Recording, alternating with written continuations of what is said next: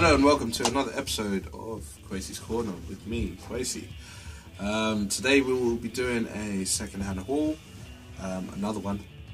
Uh, what you're used to, just knowing uh, that we have some amazing products in stock, um, second-hand, pre-loved, um, waiting to be picked up and purchased should be enough for you to get excited. You know what I'm saying? So um, you're going to see some of those up next. Next up we have this pair of Istanbul 14 inch Azure hats, good condition.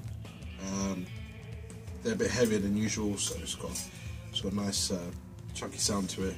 Suitable for a few genre music, and that's available to you at 149 pounds. 149 is yours, nicely. Paiste lovers, we have a very interesting 2002 16 inch ride, black label from the 1970s. 16 inch ride, guys.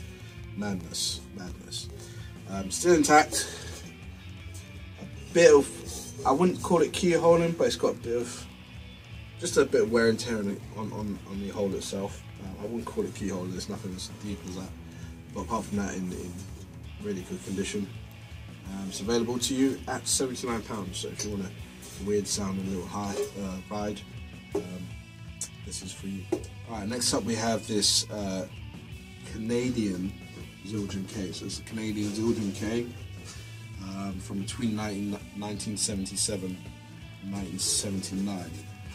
Very, very nice piece, well hammered, sounds great. Uh, very good condition, no keyholing whatsoever, no cracks, no creases, just a very nice vintage sounding crash available to you at a knockdown price of 249 uh, so it's pre-loved gem beauty for those of you who likes old Zildjians this is the one for you. Okay uh, thanks for watching.